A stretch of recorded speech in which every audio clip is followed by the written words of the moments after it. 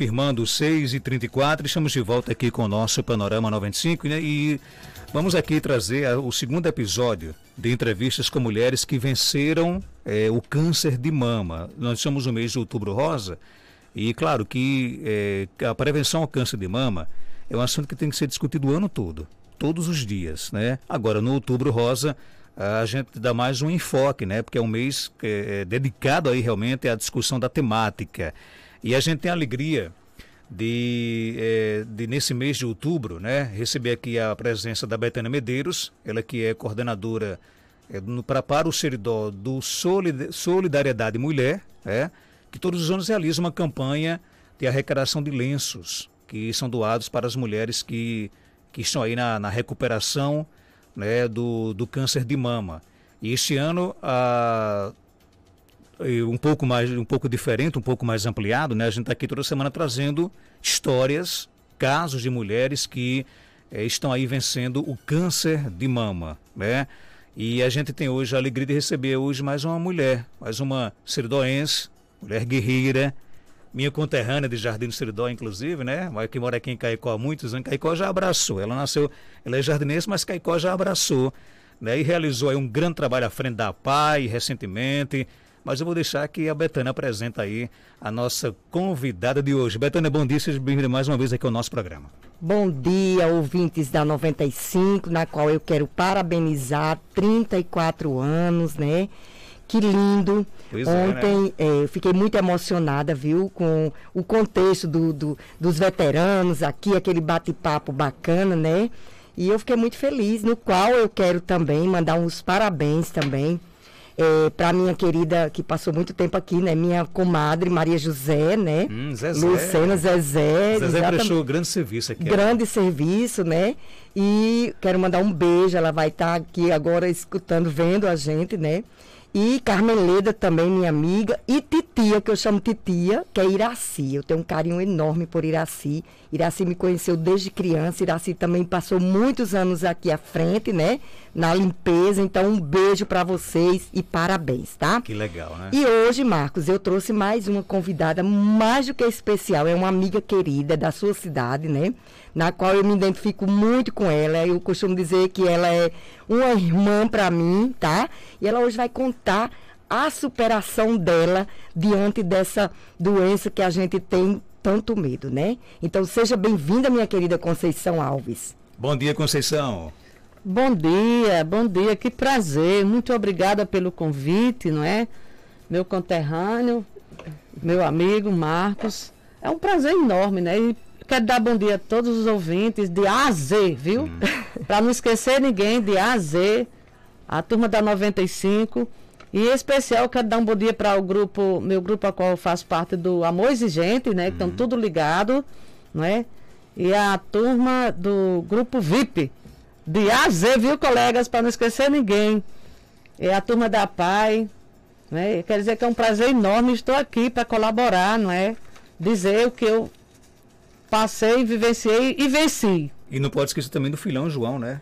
Ah, meu ah. filho, sempre esqueço. Pois é, não pode. meu né? filho, meu filho está dormindo, um cheiro, meu filho, Dadá também, Dadá, que é o nosso anjo da guarda, viu? Legal. Mas... João Antônio, para quem não me conhece assim, da, da 95, eu sou mãe de João Antônio, um rapaz fantástico, né? Hum. De síndrome de Down, hoje com 22 anos, ele é o cara, meu filho. É, é o cara realmente. Ele é o cara, flamenguista abusado, ah, Olha. Ai, e eu vascaína, não. Mas, mas, Conceição, vamos lá. Vamos lá. É, quando é que você descobriu o, o, que estava com câncer de mama? Pois é, Marco. Eu passei. É, a mãe de, de, uma, de uma pessoa especial, ela sempre se descuida um pouco de si em função do filho, não é? E eu passei a, praticamente dois, de, é, no período de três anos, praticamente, sem ir à médica, a doutora Verônica, que era sempre quem me acompanhava aqui em Caicó, né? É, passei de 2007, 2008, 2009. 2010 eu fui para a doutora Verônica, né, no dia 19 de março, para ser mais precisa, e fiz a primeira consulta. E aquela história, ah, você demorou a vir, o que é que houve? Eu disse, doutora, esqueci, realmente em cuidar de João, né? Tive que cuidar dele, enfim. Então ela começou a bateria de exame, que é normal, e quando ela pegou a mamografia, né, ela como médica já Diagnóstico? Disse, não, eu não, não, não diagnóstico não. Ela disse assim, olha, eu recomendo você ir para Natal. Sim. Não é? Aí já acendeu a luzinha de alerta. Não, eu, eu não, eu não sou muito preocupada com determinadas coisas, não. Eu achei que era de rotina, né? Hum. Sim. Então eu fui para doutor Murilo Brito, já indicado, já fui indicada, né, na Promate. No dia 12 de abril eu já estava lá com o Murilo, a primeira consulta, né? Aí era retirada de dois cistos, dois simples cistos, um na mama direita e um na mama esquerda, né? De uma certa forma pequeno, né? Então, fiz a cirurgia no dia 4 do 5. Aí no dia 24 do 5 foi que eu tive o resultado da biópsia. E foi aí que eu soube, né? Que estava com câncer de mama. E, então, a atitude do médico, eu não gostei porque ele pegou o resultado da biópsia e ficou olhando e fazendo assim gesto. Eu disse, doutor, o que é que há? Que, por que, que é que o senhor não quer me falar? O senhor está com o resultado em mãos, por que, que não me diz o resultado? Aí disse, é, deu o câncer de mama, só que não foi na que eu esperava. Ele achava que ia ser na direita e foi na esquerda. Não é? Aí, eu, sinceramente, Marcos, eu, não, eu disse assim, e aí? Eu não tive reação negativa nem positiva. Eu disse, e aí? O que é que se faz? Eu fui com a minha irmã, né? Eu disse, e aí, o que é que se faz? Qual, o que é que você tem que fazer? Ele disse, vamos tirar, tem que tirar o quadrante. Né? Vamos tirar o quadrante. Eu disse, você pode marcar para quando? Não é? Aí ele marcou a cirurgia e eu já saí dali, eles vão passou a, ba a bateria de exame, que é normal, os exames é, é uma fase terrível, porque tem alguns exames que a gente passa, é, fica numa, numa, posição, vamos dizer assim, numa posição não confortável. Mas ali eu não, eu, disse, eu não tive problema. Eu disse, Senhor, me segura. Amém. Me segura. Teve um exame que, eu, que foi Deus que me segurou mesmo. A posição que eu fiquei, bem desconfortável mesmo. Mas aí, ó, eu só, eu só pensava nisso. Senhor, me segura. Tenho que fazer. É para o meu bem. Entendeu? Aí, quando foi que ele marcou para fazer esse quadrante, minha irmã, que é enfermeira, e minha sobrinha, que já tinha uma tia com câncer de mama há mais de 15 anos, disse, tia Nenê, a gente vai querer a opinião de outro médico. Eu não hum, não estou muito satisfeita com essa história do quadrante. Eu disse, bora. Né? Aí elas marcaram para a doutora Daniela Gama, né? No dia 28 de maio eu já estava com a doutora Daniela Gama. Uhum. Né? Então a doutora Daniela é, conversou com a gente, aquele negócio todo, ele disse, é, realmente, eu não desaprovo a atitude do meu colega, mas eu tiraria a mama toda, eu digo, vamos marcar. Para mim é mais tranquilo. Entendeu? Uhum. E, então, no dia, eu já marcamos para o dia 7, 7 do 7. Certo. E aí, outra bateria de exame. Né? Mas foi tudo muito tranquilo. Eu fiz a cirurgia com a doutora Daniela Gama.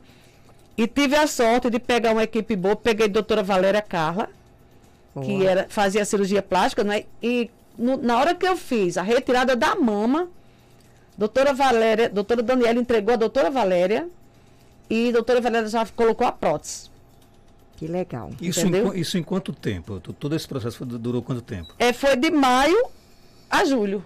Maio a julho. No dia 7 de, de, do 7, o, o aniversário já estava cirurgia. Já estava na cirurgia. No dia, no dia 6, o aniversário de Antônio Batista. No dia 7 eu fiz a cirurgia. Eu digo, foi o nosso presente. Que bom, que bom, é? minha amiga. Aí, então, foi tudo assim. Eu achei tudo tranquilo. Eu, em momento nenhum, graças a Deus, eu me pegava com Deus, estava entregue a Deus, seja o que Deus quiser. Tá entendendo? Eu não sou a primeira, nem você a última. Tem que fazer, vamos fazer. Por que não fazer? Por que temer? Né? Sim. Então é assim. Então, outra coisa, antes que eu, que eu esqueça, Marcos, eu quero dar um recado às, às mulheres que está com algum problema, desconfiando de algum nódulo, de algo, ah, é um carocinho, ah, é aqui.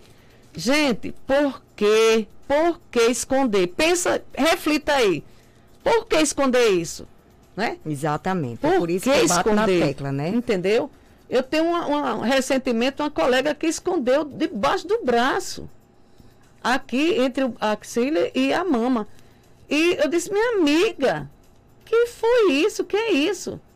E ela começou câncer. É, e, por, e, por, isso que é importante essa, essas histórias de superação, porque a mensagem que a gente quer transmitir para as pessoas é É, o câncer existe sim, sim, né? sim. Existe o, a, a, medicina hoje está muito avançada, existem hoje tratamentos Exatamente. e a gente tem dois a, a, prova de que existe cura é você que está aqui hoje. Exatamente. Né? Quando é diagnosticado Isso. com né, rapidez, antecedência, no momento, tudo é no, eu acho assim, tudo vai no momento certo. Algumas pessoas, infelizmente, demora até a descobrir, mas tem que pensar que tem o que se fazer. Sim. Corra todos atrás. os anos. Não todos pode, os anos. Não pode esconder, né? Não, não pode esconder. Não. Esqueça essa história de medo, gente.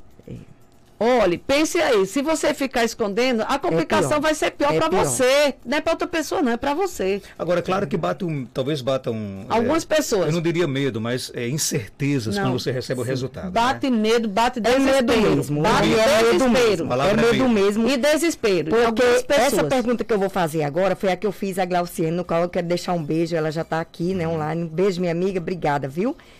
Como foi quando você recebeu o, o, o diagnóstico, Sim. quando, como foi para você perder os seus cabelos?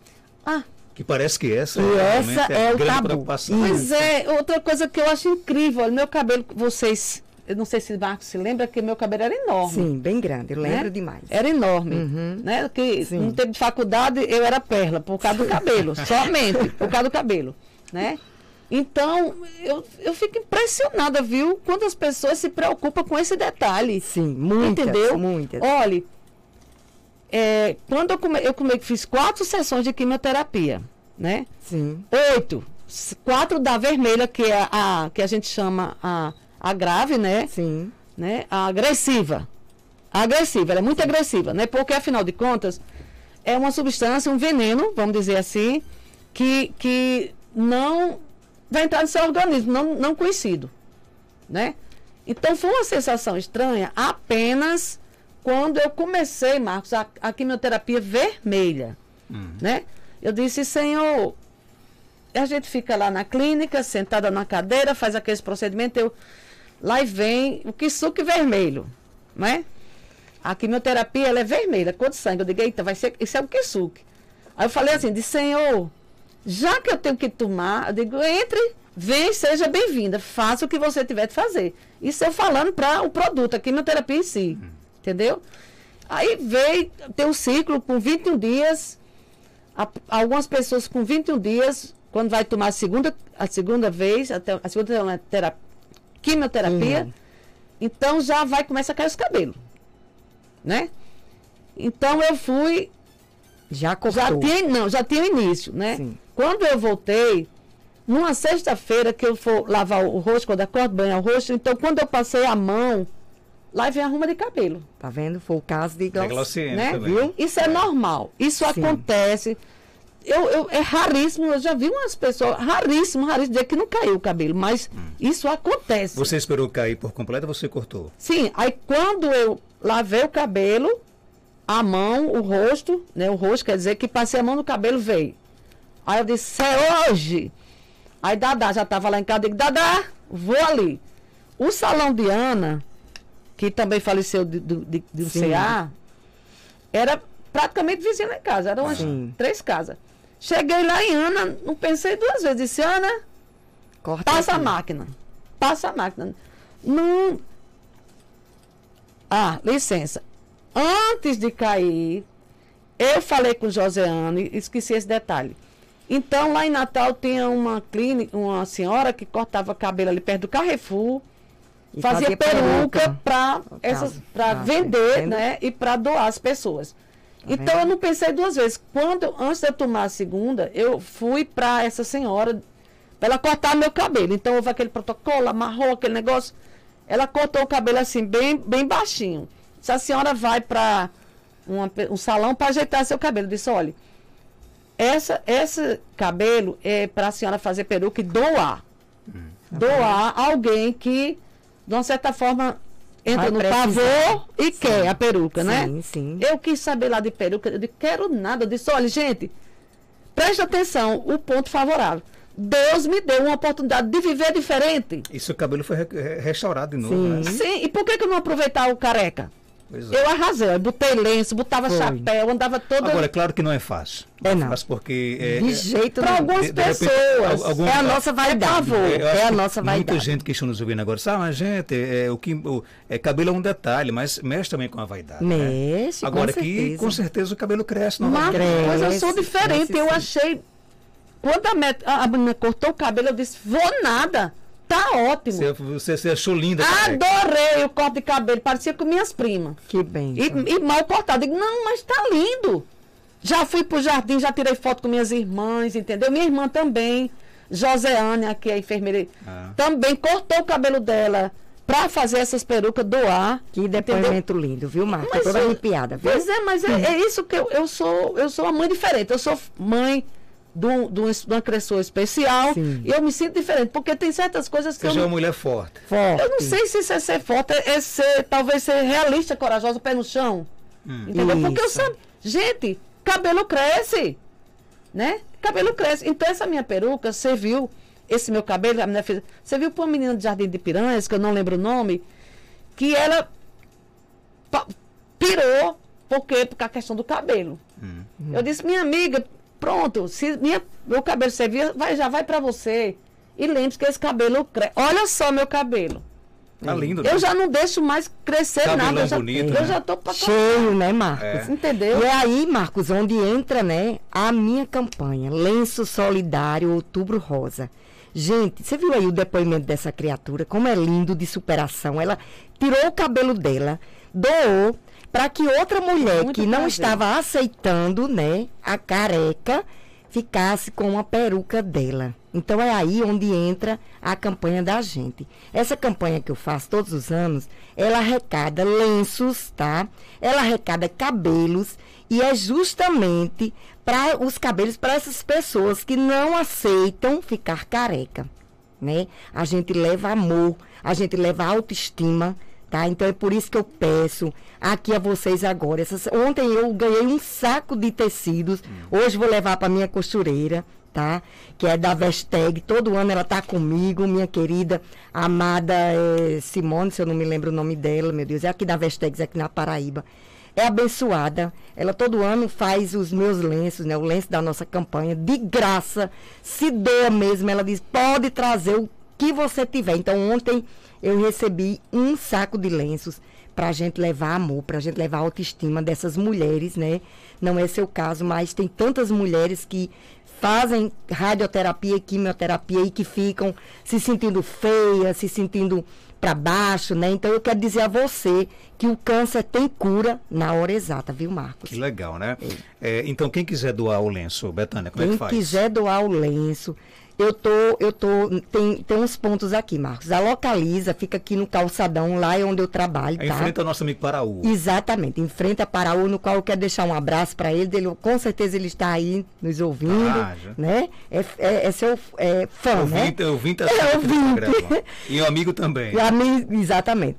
E, olha, Localiza nós temos a Madecel, que todos os anos é nossa parceira. Nós temos a Decorare, do nosso amigo Galvão Insônia, ali vizinho à Caixa Econômica, também é nosso parceiro. Nós temos o Salão Edson Medeiros. Nós temos a 95, hum. né? Pode deixar aí na portaria que no final do mês eu vou sair arrecadando. E nós temos a 107, 107, se eu não me engano. 100,7. Isso. Também. Que é a Rádio Seridó. A Rádio Seridó, exatamente. Então, então, no caso, você, quer, você, é, você não quer o lenço pronto, você quer tecido. Pode ser o tecido, pode ser cangas. Hum. Você foi para a praia, tem aquela canga lá guardada. Da canga se faz um lenço se também. faz um turbante, Marcos. Turbante. Ela fica linda, aquele, aquele que fica bem alto na cabeça das mulheres, né? Porque tem mulher que tem a cabecinha meio, né? Hum. Chatinha, diz, ah, eu gosto de uma coisa mais elevada. Então ela faz o modelo que ela quer. E é tudo muito bem-vindo. A menina diz, Betânia, eu vou doar umas máscaras nós estamos ainda usando máscara. Então, é bem-vindo também. Que legal. Aqui no Facebook tem muita gente aqui mandando aqui um forte abraço aí, né? Uh, deixa eu só localizar aqui rapidinho. Uh, Marilene Silva, mulher de muita alegria. Conceição, quero muito bem. Maria hum. Honorato, boa sorte para vocês, muita saúde. É, quem mais? Aninha Nogueira, bom dia. Miramar Bulhões. Miramar foi minha professora lá em Jardim do Seredó. Você deve conhecer muito bem Miramar Bulhões, né? É, tem um tipo de quimioterapia que o cabelo não cai. Tá aqui a informação aqui. É verdade. Da Miramar, né? É, Girleide Carias, parabéns. Ana Lúcia Medeiros, Conceição Grande Mulher, parabéns, né? Oh, Aninha Nogueira, parabéns, Betânia, pela campanha belíssima, né? Obrigada, Você falou pessoal. aqui, o Paraú, Paraú já mandou um recado aqui. Tá, tá ouvindo aqui, né? Paraú tá. do Lava Jato, viu? Parabéns, Betânia, pela campanha, né? Obrigada, Paraú. É, Liduína, Conceição, uma, super mulher, super mãe, super amiga, tudo super. Lindo. super gentil. Lindo é do meu partido também. Gente, obrigada. Um abraço também para Paraú, viu, amigão? Oi, minha, minha amiga Neta, eu quero que lhe pedir desculpa. A Neta mandou um áudio aqui de cinco minutinhos e é, ela está tão empolgada com, com, com o quadro que ela já participou na semana passada, mas vamos convidar a Neta para vir para cá? Vamos convidar, vamos convidar. Eu, eu quero contato, contato Neta, eu quero seu contato. E toda tá? semana a Neta está contando um pouco da vida dela, então ela tem que vir aqui. A quadro. próxima quarta-feira, Neta, você está intimada para ser minha convidada, Vamos tá entrar certo? em contato com a Neta, viu, Geraldinho? Pra, pra, Isso, eles vão aqui. entrar em contato, vão marcar já para você Neta, vir. então segura aí, viu? Não vou colocar seu áudio hoje, não. Segura aí que você vai vir contar a sua história aqui ao vivo aqui no programa. Tá Quarta-feira tá você vai ser minha convidada, Sim. Neta, viu? Conceição. Sim. Como é que, e aí, até a cura, como Pronto, é que foi? deixa eu falar um, um, caso bem engraçado. Na hora que eu cortei o cabelo, que eu cheguei em casa pelada, né? Que eu falei, Aninha, passa, passa a máquina. Ela disse, não, vamos deixar abaixo. Eu digo, homem, passa essa máquina no zero. Né? Quando eu cheguei em casa, isso foi no, na sexta-feira mesmo, e João Antônio estava escutando, é, dançando, escut... João tinha 10 anos, estava escutando Michael Jackson, e quando, ele, quando eu cheguei, ele fez, ficou, no bom sentido, ele ficou uau, fazendo aquele gesto de, de, Michael Jackson, dizendo que eu era Michael Jackson, que eu estava pelada, né? uau, aí ficou mamãe pelada, mamãe, mamãe, né? Eu disse, pois é, meu filho. Aí foi uma tranquilidade. Eu, arras, eu abusei, no bom sentido, nos lenços, botava lenço de, de lado, botava esse meio turbante, botava chapéu. Olha, eu me senti fantástica, tá entendendo? Eu, é o que eu digo, Deus Bota isso na cabeça. Você. Deus deu uma oportunidade Sim. de eu viver diferente e voltar a viver o que eu era. Eu sabia Sim. que o cabelo ia crescer. Que né? bênção, que Você bênção. perguntou. A cura. Eu queria, saber, queria saber o dia da cura. Como Pronto. é que foi Marcos, é o seguinte: a gente eu, o, tem fatores positivos, por incrível que pareça, tem sim. Quando a gente vai vencer nas etapas. Né? Por exemplo, quando eu terminei a cirurgia, que tirou dreno, né? que, que eu me libertei dos drenos. Então, isso foi uma vitória. Né? Quando eu comecei a quimioterapia, foram as quatro vermelhas, que são as agressivas. Gente, eu não sentia nada, você acredita? Da clínica, eu já ia para a cidade ali, a cidade lá em Natal, de ônibus mesmo, de, de coletivo, almoçava na cidade, pegava o coletivo e ia para o apartamento. Não senti nada. Esse período todo eu ia e vinha de ônibus. Nunca tive problema. Agora, as quimioterapia branca, em relação à vermelha, é considerada leve, suave, tipo assim, a maneira de dizer é uma água, né? Sim. Eu quase que ia. Eu quase que ia.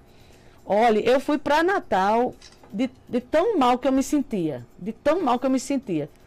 E minha irmã me levou de urgência. Eu pensei até que ia ficar internada, mas aí o doutor Rodrigo, que era que me acompanhava, ficou impressionado. Mas Conceição, como é que você não teve nada na vermelha e vai ter nessa branca?